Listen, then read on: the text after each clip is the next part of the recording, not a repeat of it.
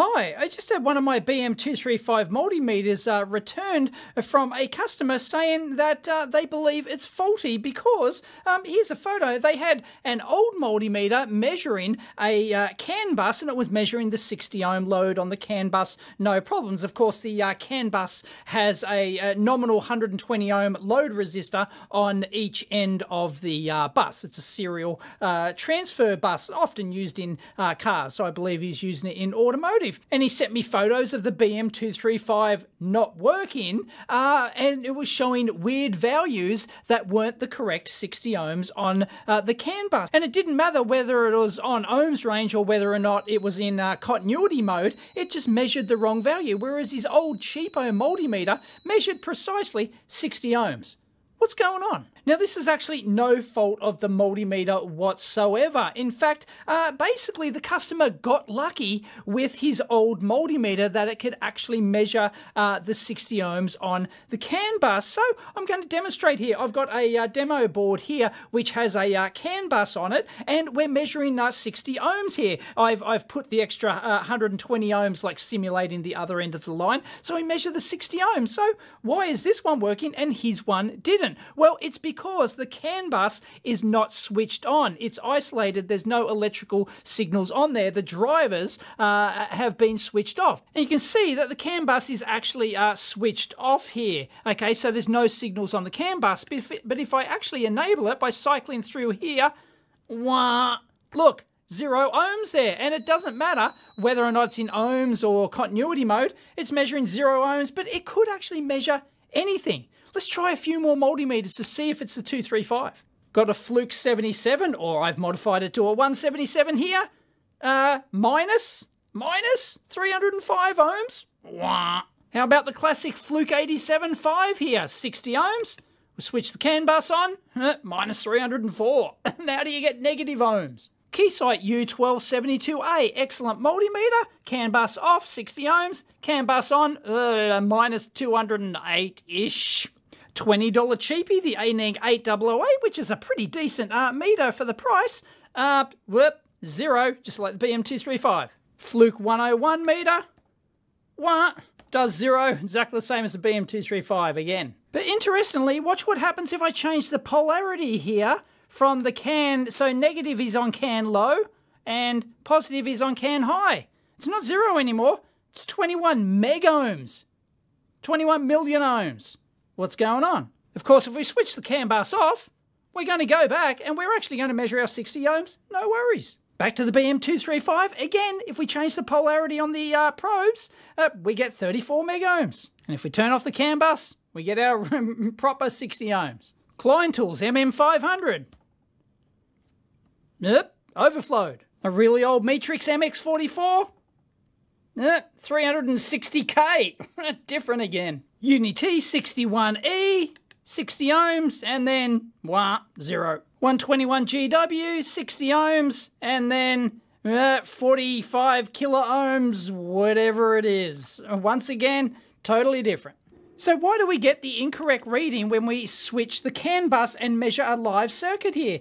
It's because, well, anyone with any decent experience of using multimeters knows that you never uh, use the ohms range to measure a live circuit. And indeed, here's the user manual for the BM235 here. It says if you use it on a live, use the ohms range on a live circuit, it may give you incorrect readings. And also, it could potentially damage the meter, but most multimeters on ohms range actually have uh, like decent protection in them. In fact, you can put uh, 240 volt mains across this in ohms range and you're not going to damage it. But you're certainly not going to be able to measure anything uh, in circuit because ohms range works by putting a current through your resistance and back into the meter and measuring the voltage drop across it. And if your circuit is feeding in external voltages via a low impedance path, that can upset the reading and the current, and your meter could measure an incorrect value. It might be slightly out, it may be way out, it may show zero that we saw, it might show negative values because the multimeter is just absolutely confused. The software doesn't know what to do and it's just putting a negative number in there even though you can't get a negative resistance.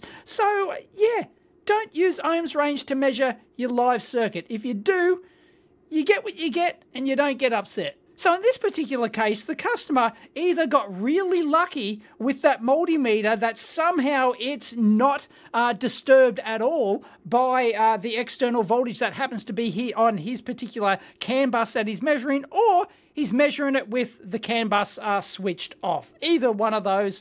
But I couldn't find a single meter here in the lab that wouldn't give me an incorrect reading on this particular CAN bus. So let's get a bit more technical. If we probe across the CAN bus here with our oscilloscope, this is what we get. We get a packet of uh, data, which is basically where 500 millivolts are per division here. So it's about a 2 volt uh, peak to peak signal here. And it's just, I'll stop that so you can actually see it. It's all this data in here. And well, all this stuff is being superimposed on your multimeter and your multimeter is trying to feed current through that 60 ohm resistor yet it's having this driver chip in there force all of these voltages and all this high frequency switching stuff uh, across essentially your load resistor that you're actually trying to measure and well, the multimeter does is not designed for this. It's not designed to handle external voltages and currents being actually pushed in to essentially pushed into the multimeter. So it's going to really upset the apple cart. That's why you could get just any unpredictable result when you try and measure ohms on a live circuit. You don't know how your multimeter is going to react because it's not specified at all for any uh, external uh, voltages. And it's a similar reason why you don't measure resistors in circuit. Here's a 10k resistor in circuit. What does it measure? Uh, it might measure 10k, but in this case, nope, 3.5k. It's be, it's not because this board's powered up. It's not. It's switched off. But there are other components in parallel with that resistor that when this uh, multimeter drives current out here, it may go elsewhere in the circuit and not all of it goes through the resistor. So it can upset the reading. This is like using multimeter 101 stuff. Don't measure resistors in circuit. Almost any multimeter uh, manual should tell you that. Break the circuit before measuring. Same thing applies when you're measuring a powered up uh, circuit. Any external voltages can upset the apple cart. Now, I won't go into major detail on the CAN bus, but it is actually a differential signal and it doesn't actually sit on zero like this. And if we actually change the polarity of our single-ended probe here, and I won't go into single-ended versus differential, look, there you go. It goes in the opposite direction. And if we don't probe across the bus and actually take it to the circuit common ground here, then we measure something different again because it's actually a biased signal. Now we're at one volts per division, so it's actually biased by one, two, two and a half volts. So there's our signal there, and we're probing the high bus, and if we probe the low bus, there you go, it goes from 2.5 volts in the negative direction. So it goes positive and negative above and below 2.5 volts. So we've effectively got a 2.5 volt offset voltage on there. Here's another simple example. I've got a just a 62 ohm resistor here and I've connected across a power supply here which is switched off but it's not 62 ohms. It's already already there's something inside there that's upsetting the apple cart, right? Even though this output is switched off, because there's something across these terminals, even when you switch it off, that causes it to drop from its 62 ohms. So let's actually switch the output on here. I've got it set to zero volts here, and it doesn't really upset it at all. But what happens if I change my voltage by 0.1 just 0.1, 100 millivolts, 0.1 volts. It's gone up to 647 ohms. What happens if I change it to 0.2 volts, uh, 2.5k ohms? Look at this, 4k, like uh, 40, uh, like 59k, right? You just have no idea, and now it's open, right? You have no idea what's going to do, what's going to happen.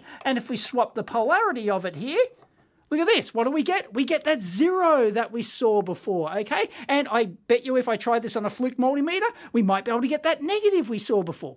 And sure enough, there it is, negative 1 meg at 1.2 volts there. And we switch it off and we get, uh, once again, like that 58 ohms there. So, uh, like, come on. And we'll swap the polarity back on the fluke and see what we get here. Uh, there you go, 1.3 meg. So when the polarity was swapped here, it's going to show a negative, but uh, the uh, EEV log Brymen meter didn't show that. Why? Is there something wrong with the fluke? No, absolutely not. This is one of the best industry standard meters on the market. There's nothing wrong with the BM235 uh, either. There's nothing wrong with any of the multimeters uh, that we've seen. It's just when you introduce an external uh, voltage or you have something in parallel with your that you're trying to measure on your ohms range, you're going to come a gutser like this and, well, you can't take your reading at face value. It's absolute 101 beginner stuff when you're using a multimeter on ohms range don't have anything else in parallel with your resistor. You can try and measure resistors in circuit on an unpowered uh, circuit,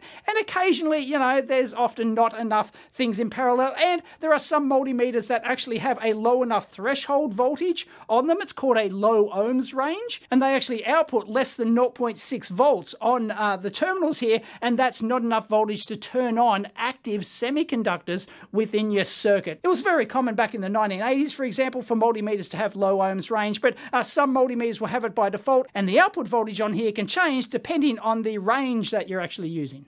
So what I'm doing here is I'm using the BM235 to measure the output voltage of the ohms range on this fluke here. And you'll see we're 2.8 volts on the 60 mega ohms range. But if I actually change that to the 600 ohms range, we're 7.3 volts because this thing uses a 9 volt battery. Whereas you won't get those higher voltages on a multimeter that uses, say, two AAA batteries, only 3 volts uh, maximum. So we change the range again and again and look, uh, 600k range, it's down to 3.5 volts. Change it to 6 meg, it's back up to 5.6 volts. So it's all over the shop. So just that output voltage alone, that can actually change how you measure resistors in circuit, which is why it's not recommended to do it. Because you don't know what your multimeter's outputting in voltage. It's not specified for it. It's just something that you have to be very cautious in doing, and especially when you're measuring live circuits like this uh, CAN bus here that can inject voltages and currents with different impedances into your circuit. That's going to screw up your multimeter. You're going to come a gutser. So there you go. I hope you've learned something very interesting about your multimeter. And this is kind of like beginner level stuff, but you usually learn it the hard way, as I think this customer uh, has. But anyway, if you enjoyed that video, please give it a big thumbs up, and as always, discuss down below. Catch you next time.